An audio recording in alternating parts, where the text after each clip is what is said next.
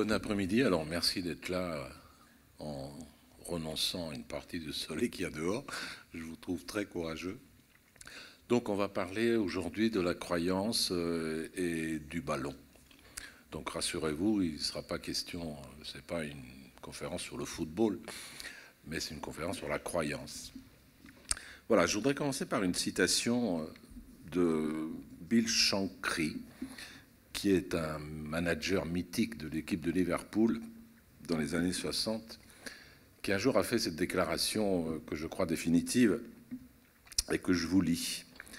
À la façon dont certaines personnes parlent du football, vous pouvez penser que le résultat d'un match est une question de vie ou de mort.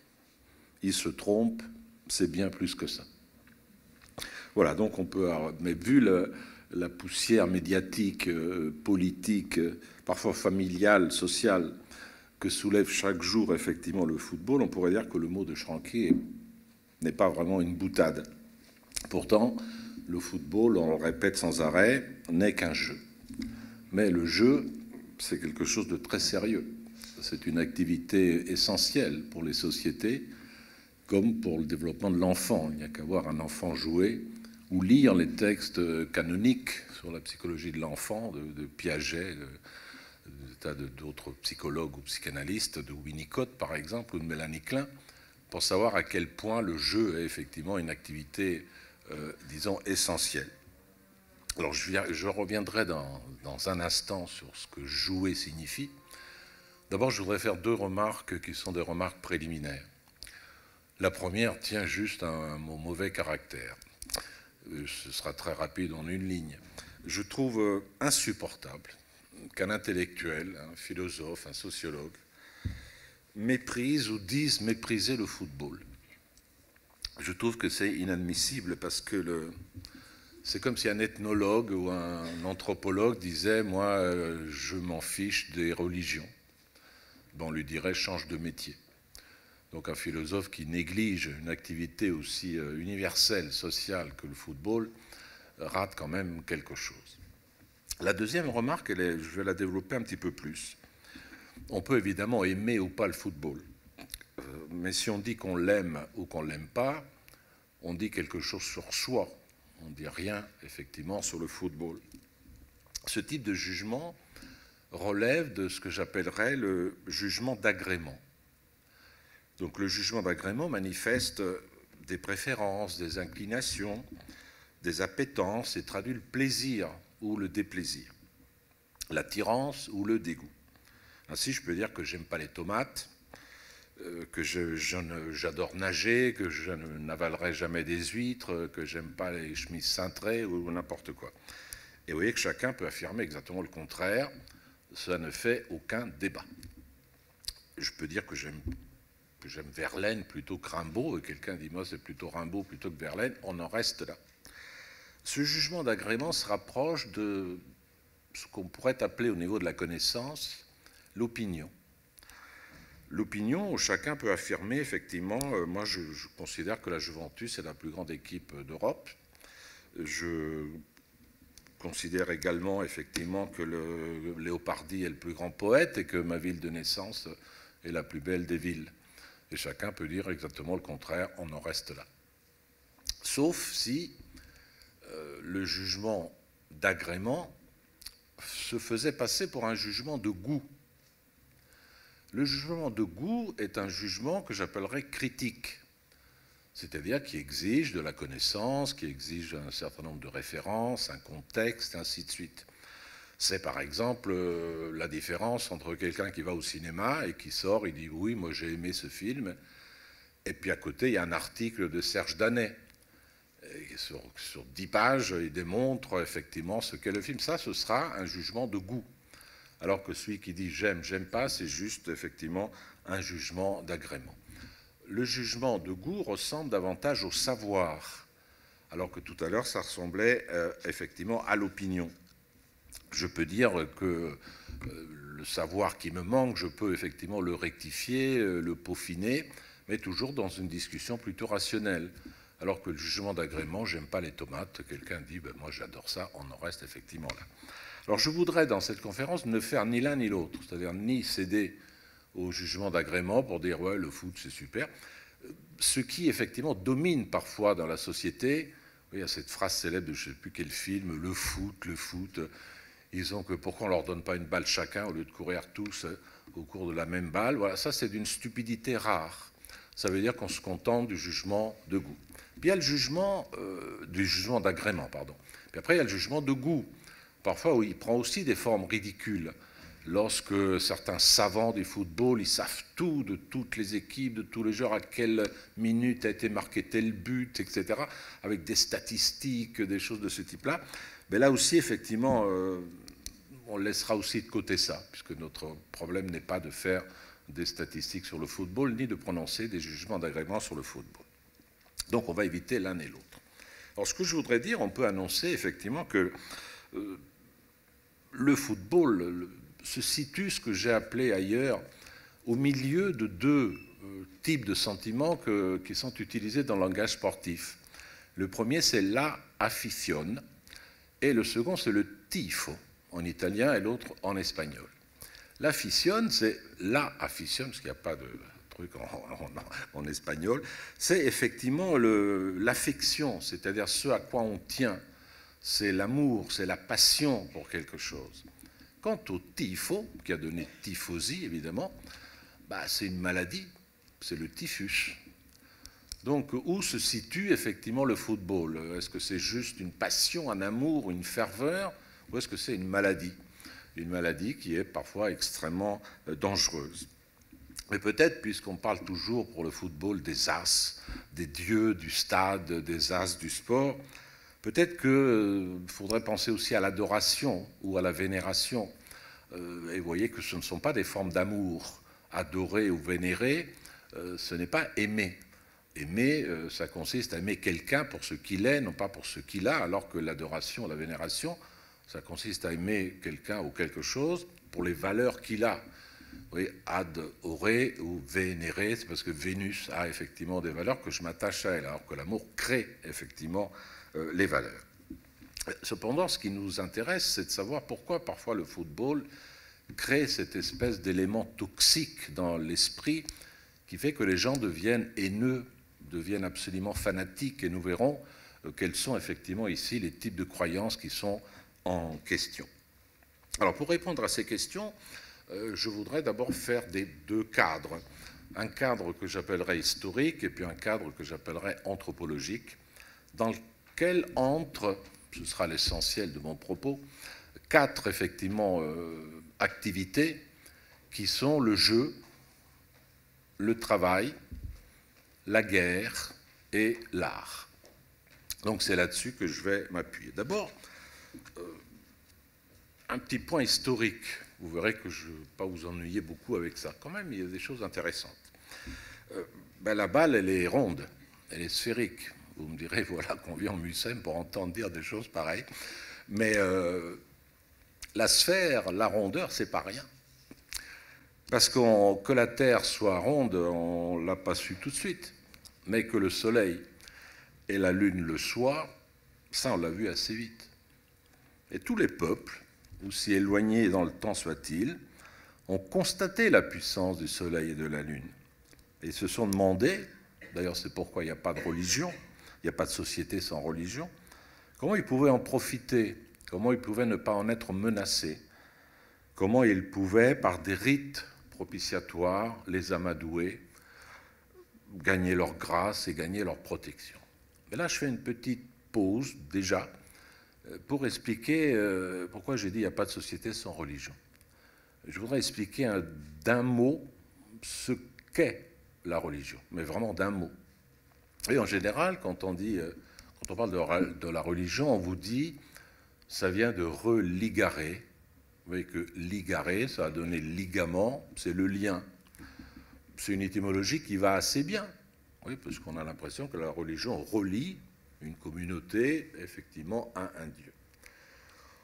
En me fiant sur un certain nombre d'étymologies, notamment dénichées par un benveniste, moi je ne pense pas du tout que ce soit la vraie étymologie. Je pense que l'étymologie de religion, c'est reléguérer.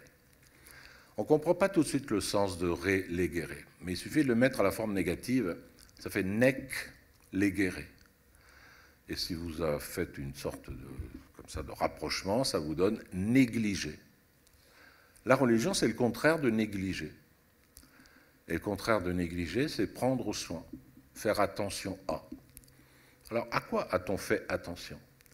Je crois qu'on peut, sans remonter vraiment très très loin et sans entrer dans le détail, on peut constater que les premières populations qui sont passées du stade nomade au stade sédentaire, en ayant gagné la faculté d'allumer le feu, et se sont installées autour du feu, donc le foyer, qu'en grec on appelle oikos, ben, ils ont dû effectivement euh, prendre soin de tas de choses, se protéger de tas de choses, se protéger du climat, de, l'excès de soleil, de l'excès de pluie.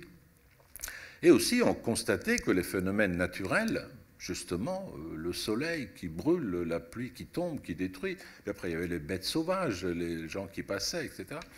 il fallait les amadouer. Et ce n'est pas pour rien que les premiers cultes ont été des cultes euh, adressés au soleil, pour prendre soin, par exemple, des choses qui poussaient. Prendre soin, ça veut dire euh, faire pousser. Ça veut dire, au sens propre, cultiver. Euh, adresser un culte, pratiquer un culte, ça veut dire protéger pour que ça pousse. L'image qui me vient à l'esprit, ce serait une sorte de flamme, de bougie que je protège avec mes mains afin que le vent ne puisse pas l'éteindre. C'est ça la culture. La culture, c'est la protection de ceux qui poussent. Mais pour protéger ceux qui poussent, j'ai besoin d'aide. Et notamment, j'ai besoin que le soleil ne chauffe pas trop, que la pluie ne tombe pas trop. Et donc, je me suis adressé à elle, à ses puissances, pour les prier de ne pas être violentes.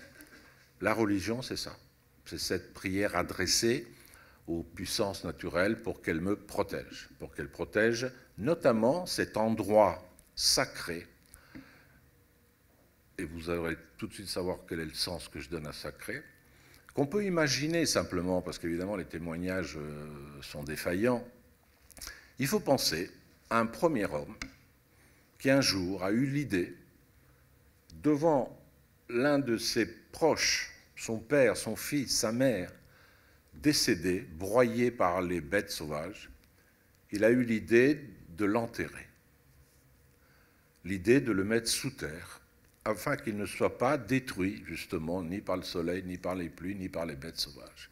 Cet endroit-là est devenu un endroit sacré, qui signifie tu ne touches pas à ça tu ne passes pas là, tu ne profanes pas cette zone où il y a mes ancêtres, où il y a ma mémoire, il y a effectivement mon histoire. Donc la profanation, oui, par, un sens contraire, vous comprenez ce qu'est le mot sacré. Or, par ce petit détour, que je pourrais développer pendant quelques heures si vous voulez, si vous vouliez, ben, vous pouvez comprendre pourquoi la sphère, pourquoi le soleil, pourquoi la lune a fait déjà l'objet des premiers cultes.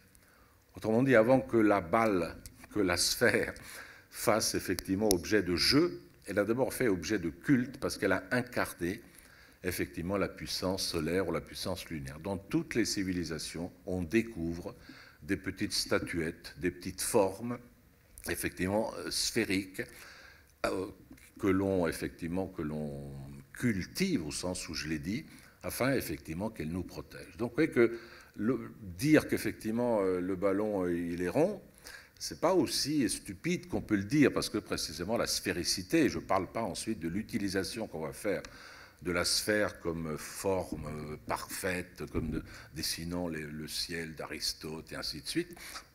Et donc c'est important de dire effectivement ça. C'est pour ça qu'il n'est pas insensé de considérer qu'on est d'abord tenté de figurer effectivement le ballon, ou de figurer le disque, ou de figurer effectivement la sphère.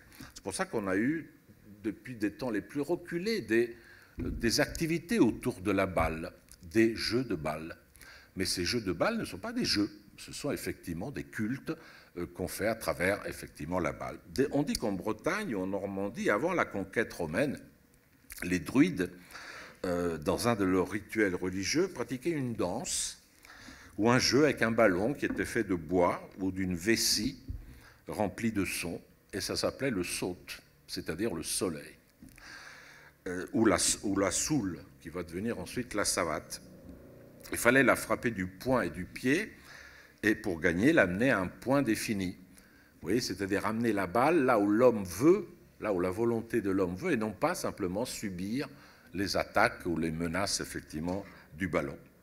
On peut naturellement rien croire de tout ça, mais euh, ce n'est pas possible dans une perspective anthropologique de ne pas considérer, comme on le fait pour l'outil par rapport au travail, de ne pas considérer précisément la sphère, la balle, comme quelque chose qui a, qui a fait quelque chose de l'homme, ou dont l'homme a fait quelque chose qui est effectivement euh, assez important du point de vue anthropologique. On sait d'ailleurs que les, qu'on s'est livré à ces jeux de balles depuis les temps les plus reculés, au XIe siècle avant Jésus-Christ, je dis bien XIe siècle avant Jésus-Christ, on pratiquait au Japon le kemari, qui se jouait à 8 contre 8 et consistait à pousser du pied une balle en peau de daim gonflée de sciure pour l'expédier dans une surface délimitée par quatre arbres. Les quatre arbres délimitaient la zone sacrée. Un peu comme aujourd'hui, vous pouvez le voir dans le sumo, lorsqu'effectivement on met le sel dans le rond, qui devient aussitôt effectivement une surface sacrée. Dans la Chine antique, on euh, existait ce qui s'appelait le tsu chiu. Donc tsu qui indique le coup de pied et chiu qui est la sphère de cuir. Aujourd'hui, au Japon, on dit le tsu kyu, c'est-à-dire la lettre le football, dans lequel les joueurs devaient, sans utiliser les mains, faire passer dans l'ouverture d'un filet tenu par des bambous un ballon de cuir, encore une fois rempli avec des plumes et des cheveux de femme. Le, tsu, pardon, fera même partie du programme d'entraînement de l'armée chinoise. Et on raconte qu'en 50 avant Jésus-Christ, là notez bien la date quand même, Chinois et Japonais auraient disputé une mémorable partie effectivement de Tsuchu, fixant ainsi la date de la première rencontre internationale. Alors cette préhistoire conduit évidemment aussi euh, chez les Grecs.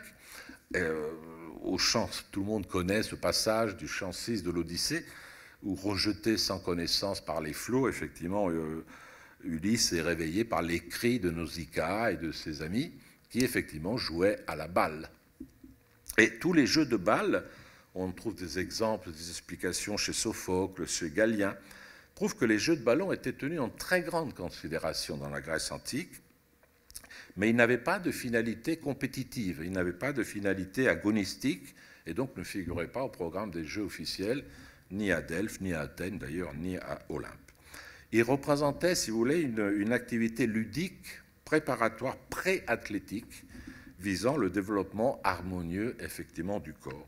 Et peut-être savez-vous que qu'il y a une rupture épistémologique lorsque un grand sportif, qui est sans doute le plus grand sportif de l'Antiquité, qui s'appelle Milon, Milon de Crotone, a transformé cette activité simplement ludique en une activité sportive en, en inventant quelque chose qui nous paraît aujourd'hui aller de soi, c'est-à-dire l'entraînement.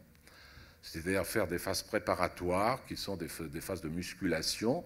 Et Milon de Crotone, il a gagné 4 ou 5 olympiques, je crois, quelque chose comme ça. Il est vénéré naturellement à Crotone, qui se trouve aujourd'hui en Italie du Sud. Euh, c'est-à-dire dans la grande Grèce de jadis. Alors tous ces jeux de balles euh, composaient en Grèce ce qu'on appelait la, sphéristique. Et dans l'encyclopédie de Diderot et d'Alembert, on en trouve une description très précise. Oui, euh, ils disent ça. Les balles à jouer se nommaient en grec sphaerai, sphère, globe, et en latin, elles s'appelaient pilae. On donnait à ces balles différentes grosseurs. Les unes étaient plus pesantes, les autres plus légères. Et ces différences dans la pesanteur et dans le volume des balles, ainsi que dans la manière de les pousser, établissaient diverses sortes de sphéristiques. Là, je vous passe les sphéristiques parce qu'il y a le cocyrus, l'urania, l'aporaxis, donc oui, je ne comprends rien ce que ça veut dire parce que c'est perdu. Mais il y en a un qui était très important, une très importante sphéristique, qui s'appelait l'arpastone. Alors l'arpastone, ça ressemble plus au rugby ou au football, c'est indécidable pour l'instant, il faut croire que ce jeu de pur divertissement auquel se, se, serait adonné Sophocle, Denis l'Ancien ou Alexandre le Grand, va vite devenir une joute assez passionnée. Et si je n'avais pas commencé par vous citer Diderot, je ne sais pas si vous auriez pu situer le passage que je vais vous lire, qui est l'encyclopédie donc de Diderot, où il dit ceci Le jeu causait une espèce de combat fort échauffé entre les joueurs qui s'arrachaient la balle, qui la chassaient du pied et de la main. On faisait diverses feintes, qui se poussaient les uns les autres, se donnaient des coups de poing et se renversaient par terre. On voit par là que cet exercice venait en quelque façon de la course, du saut, de la lutte et du pancrace. Vous si on change un peu le vocabulaire, on dirait aujourd'hui un match de foot mal fait qui se termine par des bagarres. Alors, le jeu sera emporté évidemment, importé évidemment par les latins. Et euh, Martial, euh, l'arpastum, on appelait ça à Rome l'arpastum, Martial dit qu'il s'agit d'une sorte de pulverulentium, parce que j'imagine ça devait faire une poussière du diable à courir tous auprès de cette balle, en raison de la poussière. Donc, alors il se joue avec beaucoup d'agressivité au champ de Mars et dans les gymnases, et il paraît que César d'un côté, Auguste ou Mécène auraient joué. Alors certains euh, historiens du football, ce que je ne suis pas, euh, vont jusqu'à souligner des analogies entre la disposition des joueurs sur le terrain et en quatre files celle des légions romaines sur le champ de bataille. Et on dit qu'en 276 après Jésus-Christ, il y a eu un match d'Arpastum qui aurait eu lieu entre les légionnaires romains et les légionnaires bretons. Et en Bretagne, en Cornouailles, peut-être aussi dans les pays euh, scandinaves, existait déjà le hurling, qui se jouait effectivement euh, au pied avec une balle en chiffon. Puis dans la France médiévale, il y avait effectivement un jeu extrêmement violent qui s'appelait la savate, mais on peut dire que l'art pastum va trouver son héritier le plus noble dans ce qu'on appelle, et là vous voyez que le mot est resté, le calcio florentin. Dans la Florence, effectivement, des Médicis, on jouait au calcio en qui, euh, qui se déroule encore aujourd'hui. Il y a eu des tas de participants célèbres, enfin célèbres. Il y avait Laurent le Magnifique, il y a des papes, Léon XI, Urbain VIII, qui ont joué effectivement à ce calcio en livret j'imagine, on dirait un film des Monty Python entre la Grèce et l'Allemagne, si vous avez vu ce, film qui est génial. Alors aujourd'hui encore, ça se déroule au mois de juin, donc il y a une manifestation costumée qui est en souvenir du calcio la Renaissance, mais aux prises les calcianti. Calcianti, ça veut dire celui qui frappe du pied. Et des quatre quartiers historiques de Florence, donc ils se battent entre eux, un peu comme le palio, oui, mais c'était le palio du calcio les blancs de Santo Spirito, les bleus de Santa Croce, les rouges de Santa Maria Novella et les verts de San Giovanni. Mais c'est, vous le savez tous, donc au XIXe siècle, en Angleterre, il va y avoir un certain nombre de décisions prises. Euh, ça va se passer entre. D'abord, on va inventer les dribbling games, et ensuite, le 26 octobre 1963, ça c'est une date très précise, à la Freemasons Taverne de Londres, qui se trouve Street. Il y a 11 représentants des associations londoniennes qui fondent la Football Association. Et quelques mois après, ils séparent à jamais, effectivement, le rugby du football en, introduisant un arbitre, en interdisant que l'on touchât effectivement la balle avec, euh, avec les mains, et donc ça devient le football. Alors ce n'est que très tardivement que le football devient évidemment une passion collective, parce qu'il va falloir attendre la télévision. Parce qu'au départ, euh, seuls ceux qui assistaient au match, effectivement, pouvaient les raconter. Et vous verrez tout à l'heure que cette façon de raconter n'est pas étrangère à l'une des croyances, précisément, du football, puisque ça charrie beaucoup, effectivement, de mythologie. Et aujourd'hui, euh, on parle tellement du football parce que c'est devenu un spectacle un spectacle télévisuel où il y a effectivement tout est vu, alors que jadis personne ne voyait personne. Même quand il y a eu les premiers articles de presse euh, sur le football, il y avait des dessins. On essayait de dessiner les trajectoires des balles, et puis quand il y a eu les premiers reportages radiophoniques, il y avait des génies de la radiophonie qui essayaient de montrer, de faire voir à l'auditeur comment les autres pouvaient jouer, alors qu'eux, ils ne pouvaient qu'effectivement que l'imaginer. Aujourd'hui, on a l'impression que tout est vu, que tout est visible. Il y a 18, 20, 30 caméras parfois sur un terrain, donc on voit absolument tout. Ce qui fait que c'est devenu, le football est devenu une sorte de, soit la réplique euh, ad infinitum de, la Marilyn Monroe, effectivement, euh, qu'on peut voir de Warhol, soit la, phrase de Pascal, c'est-à-dire une, une, sphère infinie dont le centre est partout, la circonférence est nulle part puisque n'importe quel gamin dans n'importe quel bout de terrain, il suffit qu'il ait un mètre carré pour qu'effectivement il puisse y jouer au, football. Alors, il n'y a évidemment pas d'essence du football. Donc je ne vais pas vous définir l'essence. Je pense que euh, il faut dire, comme le disait Kierkegaard et Sartre, euh, l'existence précède l'essence. Le football est ce qui se joue. Il n'y a pas une, euh, c'est pas un dahlia qui a effectivement qui est déjà compris dans son bulbe. C'est la façon dont on le joue qui effectivement définit le football. Alors du point de vue anthropologique, c'est peut-être là que je vais davantage accentuer. Il y a des choses qui me semblent importantes. D'abord, il faut dire que le football n'est pas une, que le sport en général n'est pas une activité première c'est une activité seconde ou une activité dérivée. Euh, le travail, par exemple, est une activité première, parce que euh, l'homme toujours a dû subvenir effectivement à ses besoins, il n'a jamais pu se soustraire au fait de travailler. Chaque sport, pourrait-on dire, est second, dans la mesure où il résulte de l'importation et du mélange différencié de ces activités premières que sont le jeu, le travail, la guerre et l'art.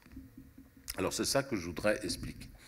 Qu'est-ce qu'on entend d'abord euh, par guerre? Là, je vais aller vite. Euh, ben, la guerre, c'est le combat, c'est l'agone, c'est la mise à mort de l'ennemi, la destruction, l'élimination de l'ennemi, ou, comme le dirait Hegel, sa conservation pour en faire un esclave. L'art, c'est l'esthétisation des gestes c'est effectivement euh, une production de sens infini qui ne se réduit pas effectivement à, l'œuvre, mais qui dépasse très souvent l'œuvre. On retiendra ici surtout l'esthétisation du geste. L'esthétisation, c'est pas n'importe quoi. Euh, essayez de lancer un javelot. Vous voyez, si vous le lancez sans aucune, si vous faites juste ça, le javelot, il va à un mètre. Et vous voyez comment euh, la stylisation du geste commence à accroître la performance sportive. Et il n'y a effectivement aucun, aucun sport qui euh, néglige l'esthétisation effectivement de ces gestes. après, il y a le travail. Ben, le travail, au sens classique, c'est l'humanisation de la nature, si je puis dire, pour reprendre la forme de Marx, la formule de Marx. Ben, disons plus simplement que c'est la, la transmission à une matière d'une force musculaire et d'une force intellectuelle qui transforme cette matière en un objet qui est doté de valeur d'usage et valeur d'échange. Mais évidemment, en transmettant cette matière, c'est-à-dire que je transforme un bout de bois en chaise. le bout de bois, c'est la nature, la matière, et la chaise, elle aura une valeur d'échange et une valeur, euh, une autre valeur, une valeur d'usage. Mais évidemment, dans cette transmission, il y a l'effort. Autrement dit, le travail, c'est aussi l'effort, la dépense musculaire qui existe aussi dans les trucs. Et le jeu, bah, le jeu est aussi une composante essentielle, mais il est plus difficile à définir. Euh, je pense qu'il faut, euh, comme toujours, je crois, en référer à, Roger Caillois, qui, dans un ouvrage célébrissime de 1958, qui s'appelle Les Jeux et les Hommes, a défini un peu les caractéristiques du jeu. Euh, le jeu, Caillois disait, le jeu est une pratique libre aucun joueur ne peut être forcé à jouer sans que le jeu ne perde sa nature de plaisant amusement. Et si on veut le dire de façon un peu triste, souvenez-vous de certains récits euh, de déportés obligés à jouer au football ou à n'importe au basket devant les officiers allemands qui les regardaient. Et ils parlaient de leur humiliation. Parce qu'être forcé à jouer effectivement à un sport pour le plaisir obligé de ceux qui regardent, c'est effectivement l'humiliation. Donc le jeu, d'abord, il y a jeu lorsqu'il n'y a pas euh, d'obligation, de, de contrainte, lorsque la pratique est effectivement libre. La seconde caractéristique, c'est une activité séparée. Autrement dit, elle est circonscrite euh, entre les limites d'espace et de temps qui ont été préalablement définies. Ensuite, c'est une pratique incertaine. Ni le déroulement ni le résultat du jeu ne peut être fixé d'avance. C'est une activité improductive, c'est-à-dire elle ne crée ni bien ni richesse, bien qu'elle puisse aboutir évidemment euh, à des échanges de richesses par la suite. Je sais pas, je dis un truc au pif, les droits commerciaux, les droits de télé, de télégénie, les droits télévisuels, qui, mais c'est pas, on ne joue pas au foot pour les droits, donc l'activité, elle est improductive. Ensuite, elle est réglée. Elle est réglée, c'est-à-dire qu'elle est soumise à des conventions qui suspendent la loi ordinaire. Et enfin, elle est fictive. C'est-à-dire qu'elle est toujours accompagnée de la conscience que ce n'est pas pour de vrai. Je veux dire qu'on est en train, on sait bien qu'on est en train de jouer, euh, et ça vous le voyez bien, même les enfants, quand ils jouent, on joue, vas-y, toi tu es le pilote, ben, ils savent bien qu'ils sont en train de jouer, et qu'à un moment, leur maman va les appeler effectivement pour aller déjeuner. Alors, une fois ces précisions données, euh, il faut entendre ce que j'appelle donc le sport et le football. le jeu, le travail, la guerre, l'art. Essayez d'imaginer un rectangle comme ça, et à l'intérieur, au milieu, vous mettez le sport. Vous voyez que le sport, il se rapproche, tel ou tel sport se rapproche plus ou moins de l'un des angles. Si vous prenez par exemple euh, des gens qui se battent à l'épée, ça c'est juste la guerre, ça s'appelle le duel. Mais si vous faites rapprocher le duel de l'art et du jeu, ça devient l'escrime. Euh, si des gamins ils jouent euh, à glisser par terre avec un plastique sous les fesses sur la neige, ça effectivement c'est juste une activité de jeu. Mais si vous ajoutez l'agone, la compétition et l'art, ça devient le patinage artistique. La boxe, ça peut être un pur combat, c'est-à-dire vous donnez coup de pied, c'est juste la guerre. Coup de poing, coup de pied, c'est juste la guerre. Mais si vous ajoutez une esthétisation des gestes, ça devient la boxe, dont certains parmi vous savent bien sûr que ça s'appelait le noble art, la boxe. Donc vous pouvez faire tous les sports, voyez tous les sports, et tous ces sports sont effectivement euh, plus ou moins loin de ces activités-là. Et là, vous pouvez comparer comment est-ce que le tennis est plus près de, de, la guerre ou de la compétition, l'esthétique, que, que le rugby, et ainsi de suite. Donc je dis bien qu'il y a ces quatre angles et le sport est une. Ma thèse, c'est juste une thèse que je vous propose, c'est que le, le football est celui qui intègre le maximum des quatre composantes, ce qui fait qu'il est universel.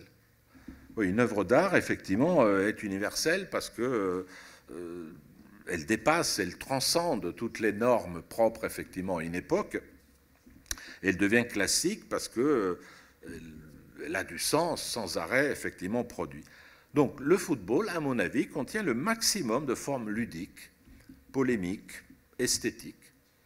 C'est à la fois jeu d'adresse, jeu de placement, jeu d'esquive, course de vitesse, course d'endurance, danse, saut en longueur, saut en hauteur, corps à corps, surveillance de zone, guerre d'opposition, guerre de contournement, catenaccio, guerre de conquête, blitzkrieg, stratégie, tactique, guerre de siège, beauté du geste, beauté de la feinte, figure chorale, beauté balistique des trajectoires, fantaisie, comédie, tragédie, drame, épopée. Il y a tout ça dans le football. Alors, c'est pour ça qu'il est effectivement universel. Parfois, on peut le jouer contre le football. Et quand je dis qu'il y a de la comédie, il y a des fois vraiment le, la comédie dell'arte. Quand le footballeur est tombé par terre, ah, je suis mort comme ça, alors qu'il vient juste de toucher à peine, ça fait partie effectivement de, de l'art, c'est-à-dire des arts du mime, des arts du geste, des arts du théâtre. Et ainsi. Mais quand vous voyez aussi une passe d'un arrière qui fait 80 mètres et que l'autre reçoit exactement sur son pied, là vous vous dites, il y a quand même une magie de la balistique qui vous fait admirer effectivement euh, ce geste. C'est pourquoi il donne d'ailleurs, c'est parce qu'il contient toutes ces formes, qui donne une forme très,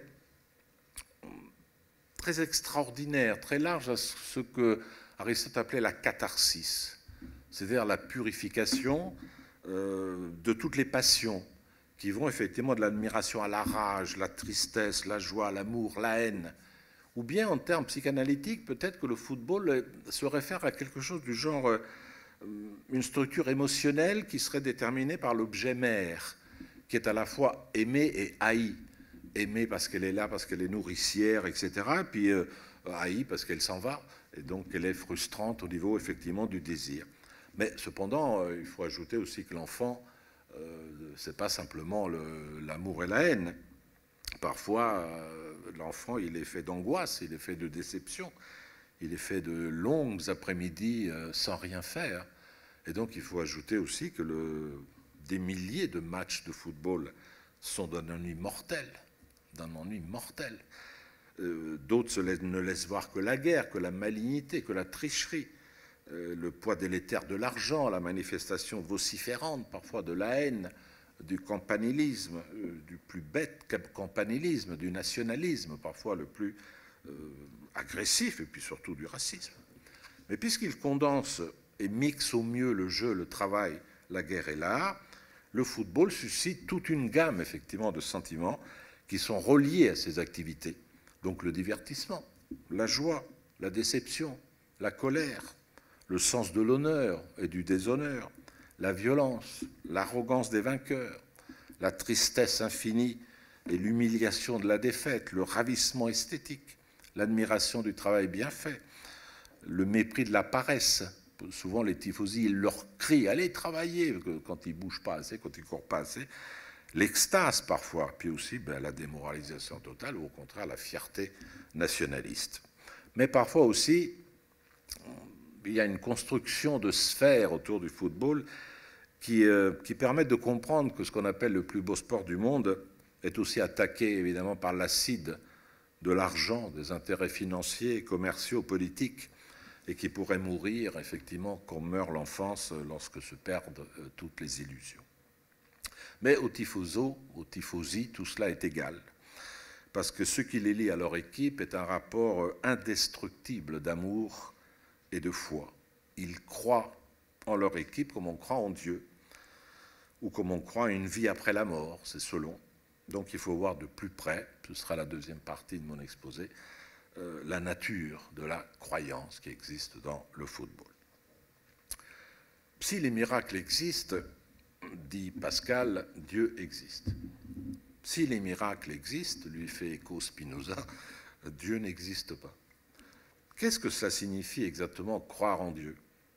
À quoi croit-on quand on croit en lui?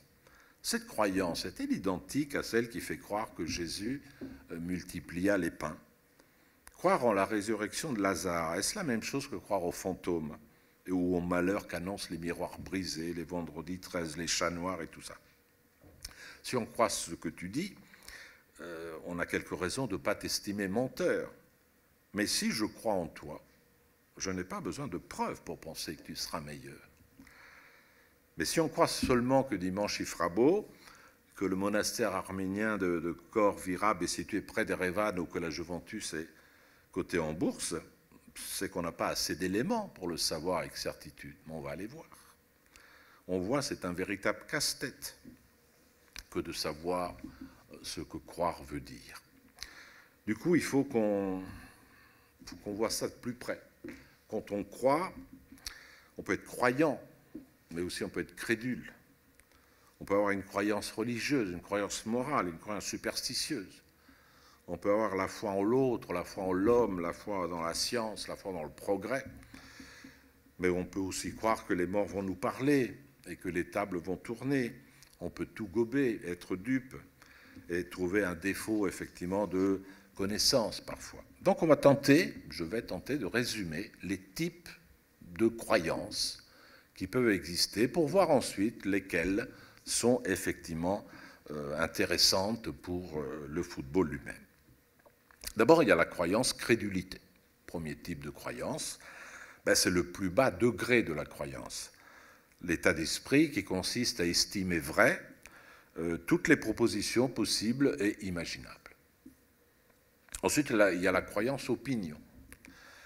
C'est le type de croyance qui intervient lorsque nos savoirs sont lacunaires. Je crois avoir fermé la porte à clé, mais j'en suis pas sûr, comme je ne suis pas sûr que Guayaquil soit la capitale de l'Équateur. Mais ici, euh, une vérification par les faits, donc je tire la porte, elle est fermée, où je vais voir un document que j'estime fiable, digne de foi, justement, qui serait un atlas ou un dictionnaire, et puis je vois que c'est Quito, la capitale de l'Équateur, et je renonce tout de suite à ma croyance, effectivement, euh, précédente. Après, il y a la croyance conviction.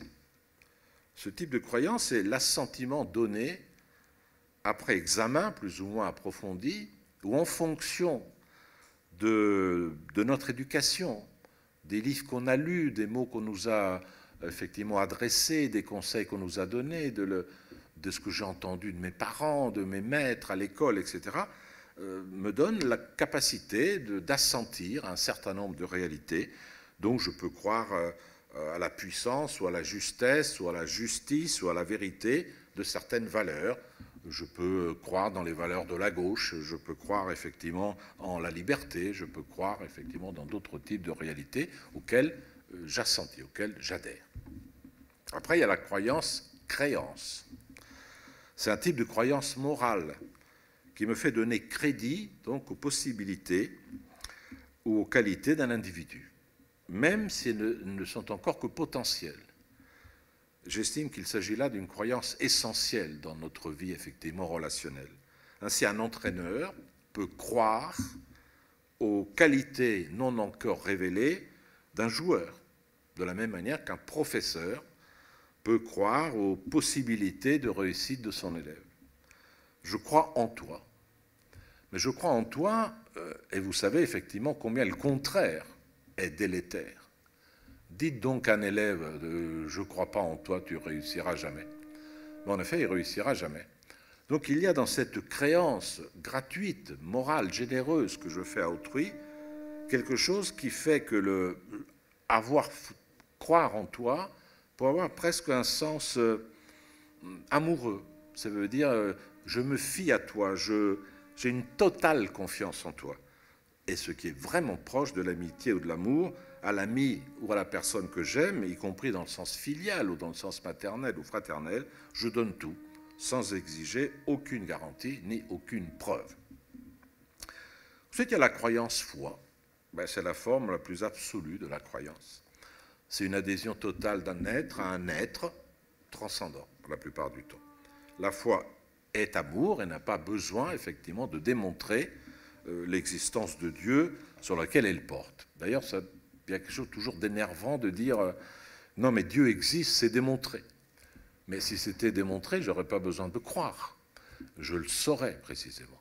Donc je ne crois pas en Dieu parce qu'il existe. Je ne crois pas en Dieu parce qu'il existe. Effectivement, c'est parce que je crois qu'il existe. C'est ma croyance qui effectivement euh, le fait être.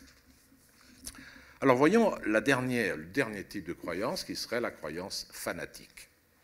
Il s'agit là d'une croyance qui dérive de ce qu'on pourrait appeler une dogmatisation, ou j'ose utiliser ce mot, une stalinisation. Au sens étymologique, stalinisation, ça veut dire transformation en acier. Lorsqu'une croyance se transforme en acier, elle omnubile toutes les autres fonctions, aussi bien rationnelles qu'émotionnelles. Voilà, il y en a d'autres, mais pour restreindre mon propos, effectivement, je me borne à cela. Alors, ce qu'on peut constater, c'est que le tifo, propre au football, relève un peu de toutes ces formes de croyances dans leur variété. D'abord, le football est crédulité. Il produit des narrations, il produit des légendes qui se transmettent, qui perdent leur source véritable et qui forment l'imaginaire collectif des tifosi, où tournent en boucle les exploits plus ou moins mythiques que personne n'a vus, parce qu'à l'époque, il n'y avait pas de télévision, pas de radio. Et donc, on se souvient de tel match épique, mais c'est parce qu'on nous l'a raconté, et celui qui nous l'a raconté, on lui avait raconté, quelqu'un l'avait raconté à celui qui l'a raconté. Du coup, ça fait, on croit en cette, euh, en cette imagerie, ces images pieuses, effectivement, de son équipe. Et le philosophe napolitain Giambattista Vico dirait que ça correspond au premier temps de, l'humanité, ce qu'il appelait le, temps des dieux, c'est-à-dire durant lesquels euh, l'homme était un enfant. il n'avait encore que la fantasia, la fantaisie, le fantasieren, pour effectivement interpréter les choses, et donc il, il était disposé effectivement à tout croire chaque grande équipe de football a ses dieux, ses héros, qui sont des interprètes majeurs d'une histoire dont moi, le tifoso, effectivement, à laquelle moi, le tifoso, je participe. Et du coup, derrière nous, on a une épopée qu'on s'est construite simplement par crédulité. Le tifo révèle, aussi évidemment de la croyance opinion. Par elle, on tente d'introduire dans la pure passion du football des éléments objectifs de connaissance. Alors on reconstruit des banques de données où tout est mesuré, les scores, le nombre de buts, le nombre de passes décisives, le nombre de kilomètres parcourus, et on tente de transformer le jeu, avec ses aléas, en combat organisé. Donc il y a les stratégies, il y a les grands stratèges, il y a Saki, le grand stratège, tous les entraîneurs. Non, c'est mieux le 4-4-2, c'est mieux que le 3-5-2, c'est mieux que le 4-5-1, et ainsi de suite. Là, on ne comprend plus rien, mais oui, on veut donner de la un corps scientifique pour qu'effectivement transformer cette croyance presque en savoir. Mais évidemment, euh, ce savoir est extrêmement friable, puisqu'il suffit d'un rien. J'avais mis toute cette stratégie en œuvre, puis après un carton rouge de mon, attaquant, ce qui fait que tout tombe à l'eau. Et du coup, ça reste toujours une croyance, puisque l'incertitude ne peut jamais être éliminée, et euh, la certitude de la victoire ne peut pas évidemment être donnée. Enfin, il y, a il y a aussi la croyance conviction. Elle, elle anime également les tifosi qui, au stade, par les chants, par les cris, les drapeaux, le port du maillot de l'équipe, non seulement manifestent leur appartenance, mais transmettent aux joueurs leur force collective, leur commune conviction qu'il y aura effectivement victoire. Euh, c'est pour ça d'ailleurs, euh, ça dû vous arriver, il est presque impossible de regarder un match euh, à la télévision, un match de son équipe, en compagnie de quelqu'un qui soutient l'équipe adverse. C'est absolument impossible puisqu'il n'y a pas convergence justement de ces, de ces convictions. Cette conviction tient aussi à la puissance des valeurs ou de la valeur qu'on croit être celle de son équipe. Et ça doit beaucoup effectivement au sentiment identitaire. Pour le football, le terme de supporter est absolument inadéquat. Euh, car il ne s'agit pas pour lui de tenir par en dessous et supporter quelque chose qui serait hors de lui. Je ne peux porter ce verre d'eau que s'il est hors de moi, à part quand on porte un enfant, sinon en général, je supporte, c'est toujours extérieur. On n'est pas détaché. Donc il faut dire que le tifoso est ontologiquement lié à son équipe.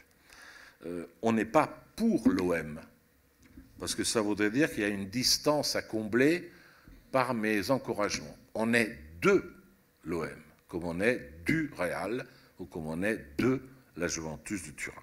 Et cela dès l'enfance. Et cette appartenance fait partie de mon identité. Je suis italien de naissance, je suis français de culture, je suis professeur, je suis critique littéraire, je suis athée, je suis de la Juventus. Oui, ça fait partie vraiment. Et je pense que si euh, on allait étudier ça de façon très précise, je trouve que les sociologues devraient le faire, de savoir comment on devient de cette équipe. Alors évidemment, si on habite par exemple Milan, on a peut-être le choix entre l'Inter de Milan et le Milan AC. Mais si on habite Padoue, ou si on habite une ville de Molise ou de Calabre, il n'y a pas de grandes équipes. Et donc comment on se choisit l'équipe? Et là, il y a une sociologie des mouvements identitaires qui sont extrêmement intéressants je le dis comme ça en me souvenant, euh, vous savez, chez Antonio Gramsci, le grand théoricien marxiste, fondateur du Parti communiste italien, qui dirigeait les conseils ouvriers à Turin, ben, il était de la Juventus. Et c'était bizarre parce que lui, il était sarde. Donc comment un sarde, tout d'un coup, euh, épouse une autre équipe? Et là, si on continue cette histoire, c'est très étrange pour étudier les configurations identitaires des tifosi, par exemple. Je vous parle de la Juve, parce que vous avez compris que c'est mon équipe. la Juventus, c'est l'équipe de la bourgeoisie euh, turinoise. C'est l'équipe de Agnelli, de Fiat, d'Alfa Romeo, enfin des voitures que faisait Fiat.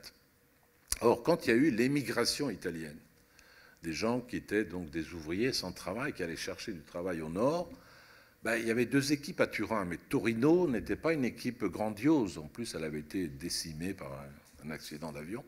Donc tous les, tous, tous les, ouvriers immigrés du Sud choisissaient la Juventus, qui devenait d'un coup l'équipe à la fois de la bourgeoisie et de ce qu'on appelait à l'époque le lumpenprolétariat immigré, effectivement, de l'Italie. Voilà. Et après, il y a la croyance euh, créance. Ben, la croyance créance, c'est celle qui domine sans doute. Je crois en mon équipe comme on croit en quelqu'un et la confiance que je lui accorde, il me la rend par la joie, la joie du but salvateur marqué à la dernière minute. Je crois que si vraiment on est amateur de football, le, but marqué à la dernière minute, alors qu'on pensait qu'il était tout perdu, me récompense effectivement de toute la créance, de tout ce que j'ai donné à cet enfant. À cet enfant. Quel lapsus. À cette équipe, pardon. Euh, non, parce que je voulais vous lire un texte qui traduit cette croyance. C'est un texte magnifique d'Alain, qu'elle a écrit dans les propos d'un Normand. Et là, carrément, je vous le lis euh, à la lettre parce que c'est trop joli. C'est cette croyance-là qu'il y a dans le football, mais ça vaut aussi pour des tas d'autres activités. Je puis vouloir une éclipse ou simplement un beau soleil qui sèche le grain au lieu de cette tempête grondeuse ou pleureuse. Je puis, à force de vouloir, espérer et croire enfin que les choses iront comme je veux, mais elles vont leur train d'où je vois bien que ma prière est d'un nigo. Mais quand il s'agit de mes frères les hommes ou de mes sœurs les femmes, tout change. Ce que je crois finit souvent par être vrai. Si je me crois haï, je serai haï. Pour l'amour de même. Si je crois que l'enfant que j'instruis est incapable d'apprendre, cette croyance écrite dans mes regards ou dans mes discours le rendra stupide.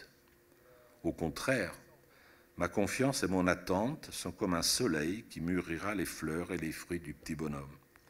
Je prête, dites-vous, à la femme que j'aime des vertus qu'elle n'a point, mais si elle sait que je crois en elle, elle les aura. Plus ou moins, mais il faut essayer, il faut croire. Le peuple, méprisé, est bientôt méprisable. Estimez-le, il s'élèvera. La défiance a fait plus d'un voleur une demi-confiance est comme une injure. Mais si je savais la donner toute, qui donc me tromperait? Il faut donner d'abord. Je trouve ce texte magnifique, on devrait l'afficher dans toutes les salles de classe, je trouve. Reste enfin la croyance foi. Alors la croyance foi, je ne sais pas comment je peux développer. La croyance foi, ben, elle joue également un rôle extrêmement important. Bien sûr, la foi en mon équipe me porte, comme la foi du croyant euh, en Dieu le porte. Cette foi est un amour sans condition, euh, qui fait être l'équipe qui est la nôtre. Je n'ai pas foi en elle parce qu'elle gagne toujours, c'est parce que j'ai foi en elle, effectivement, qu'elle gagne toujours. Mais cette foi, évidemment, n'est pas euh, certitude. Du coup, elle est, comme dirait Kierkegaard, crainte et tremblement. Et je vous conseille de regarder attentivement les gestes que font les joueurs. À côté des rituels, où les joueurs ont le tifo, à côté des rituels festifs qu'il y a dans les stades, avec des hymnes comme ça, la puissance de l'équipe, on va gagner, vous voyez, de la grande messe, les chants, les drapeaux, les banderoles et tout ça, il y a les attitudes d'imploration. Il y a tous les joueurs qui se signent, qui, prient. Il y a les spectateurs qui sont mains jointes pourvu que l'arbitre ici, pourvu que l'arbitre ici.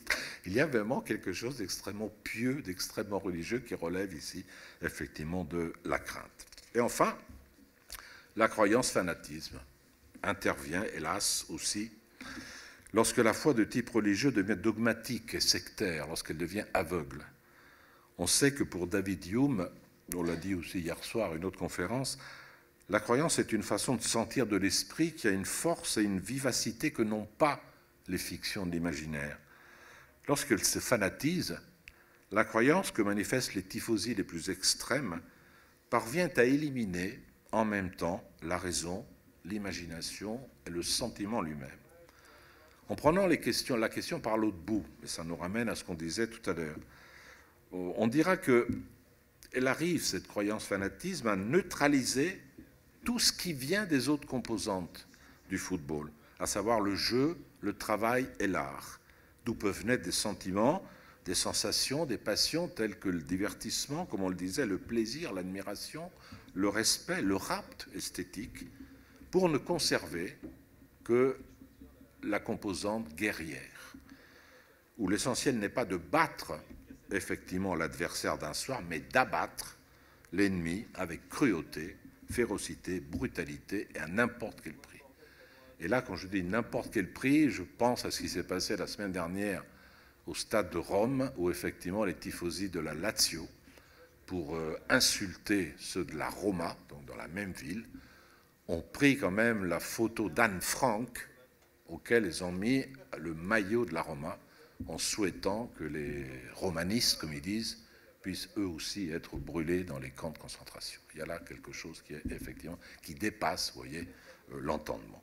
Dès lors, le football n'est même plus un sport, mais un conflit dont la violence est faite de la coagulation de toutes les pulsions de mort éjectées par les tifosi, ceux, comme on le disait au début, qui sont atteints de cette grave maladie infectieuse qui est transmise par les rats et qui s'appelle le typhus.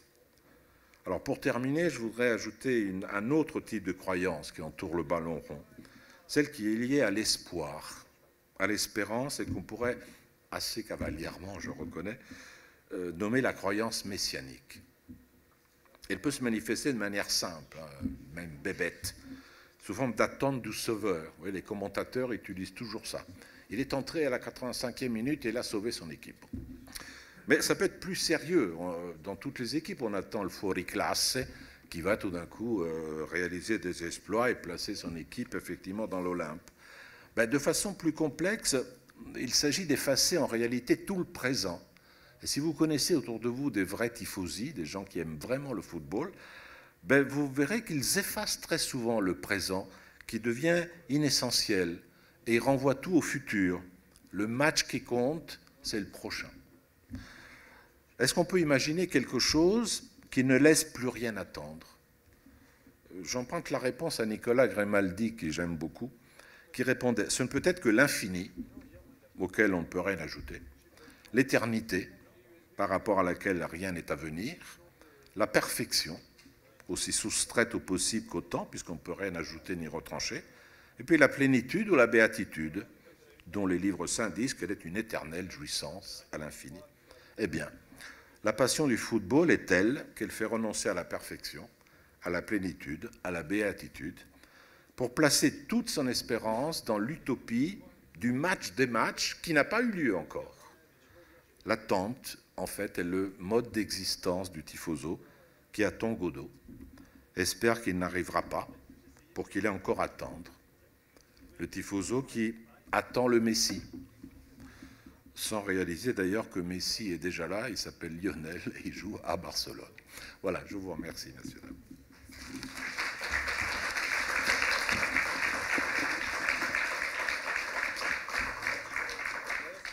Alors, je ne sais pas du tout si nous pouvons discuter, puisqu'on m'a dit une heure.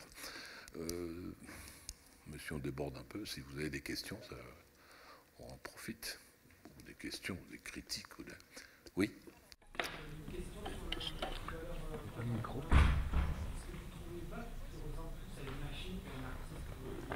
euh, J'ai pas entendu le début, excusez-moi. Oui.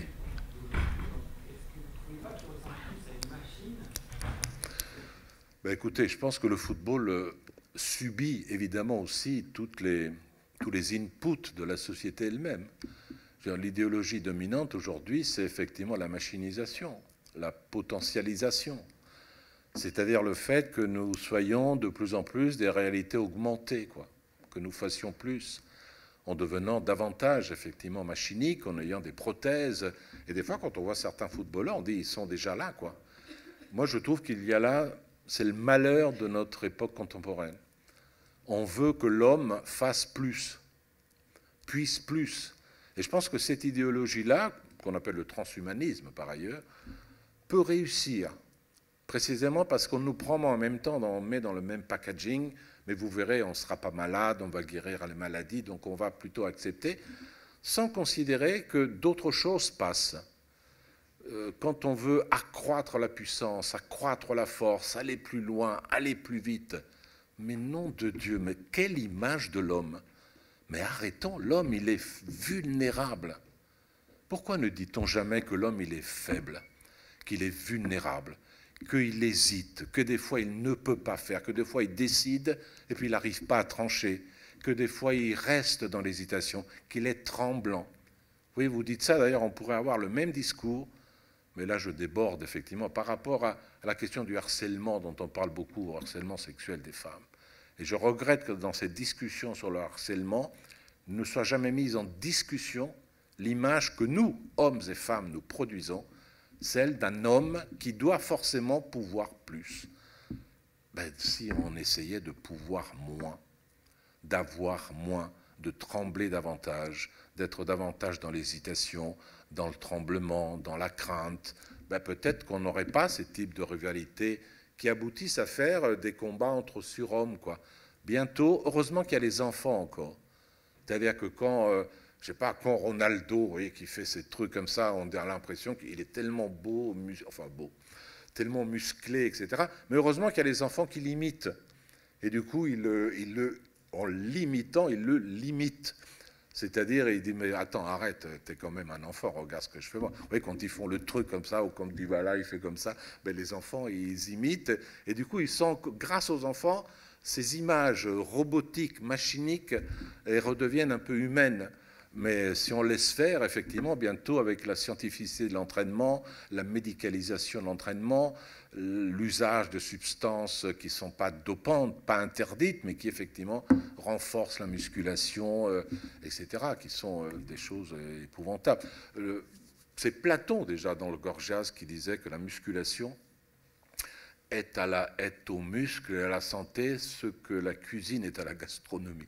Et donc, il y a effectivement, on peut faire de la cuisine de nos muscles, mais la gastronomie, c'est quand même bien. J'ai débordé un peu dans la réponse, mais euh, je pense qu'il fallait. Ben, merci d'être venu. Et puis, euh, une prochaine fois. Au revoir.